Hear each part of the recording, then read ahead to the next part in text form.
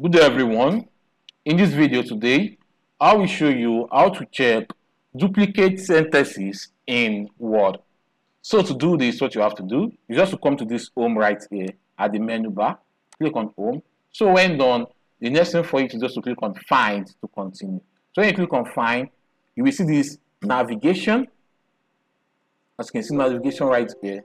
So to see any duplicate sentence, you just to copy the text which you think is a duplicate on this document. let's scroll down. As you can see, I'm seeing this tasty here, right here. I see it also right here. So I just want to be confirmed if this sentence is duplicate. So what you have to do also write is also highlight it and copy any sentence right there.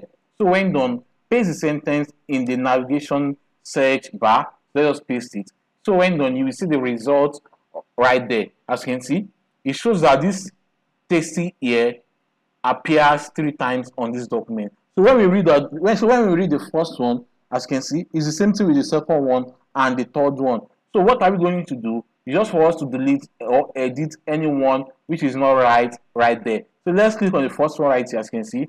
It's the same thing right here, but this one is okay. You click on the second one to take you to where the second one is, as you can see. Same thing right here.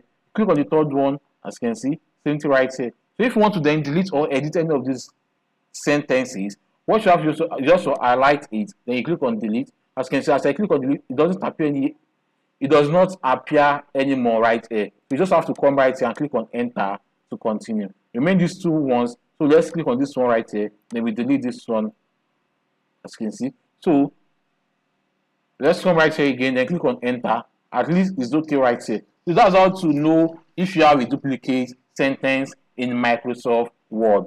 So that's all to do this. Hope this video helped. Please give it a thumb up and don't forget to subscribe to our YouTube channel. See you in the next video.